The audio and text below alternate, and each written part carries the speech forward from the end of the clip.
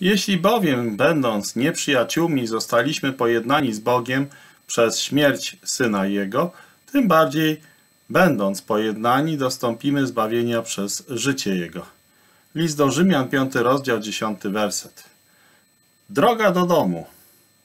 W szkockim Glasgow zabłądził mały chłopiec. Poczuł bezsilność i zaczął płakać.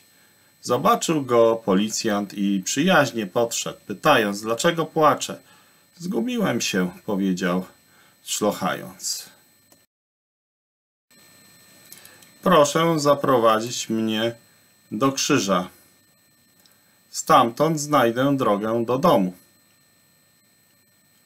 Chłopiec miał na myśli skrzyżowanie w Glasgow, które nazywa się Glasgow Cross, krzyż Glasgow.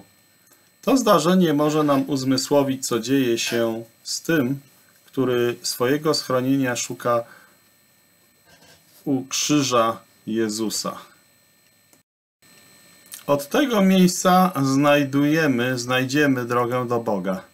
Drogę do domu, krzyż z Golgoty jest wskazówką dla ludzi. Tam możemy poznać Boga takiego, jakim On jest.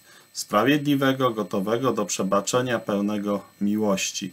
Tylko przez krzyż możemy mieć społeczność z Bogiem.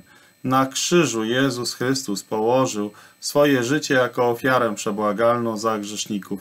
I przy krzyżu grzesznik, który nawróci się do Boga i uwierzy w Pana Jezusa, będzie uwolniony od ciężarów swoich grzechów i będzie pojednany z Bogiem. Tam dusza odnajdzie pokój i ukojenie. Co musimy zrobić, by tego doświadczyć? Podobnie jak ten chłopiec musimy przyznać, że jesteśmy zgubieni, że jesteśmy bezsilni i potrzebujemy ratunku, pomocy. Możemy w modlitwie w bardzo prostych słowach zwrócić się do Boga.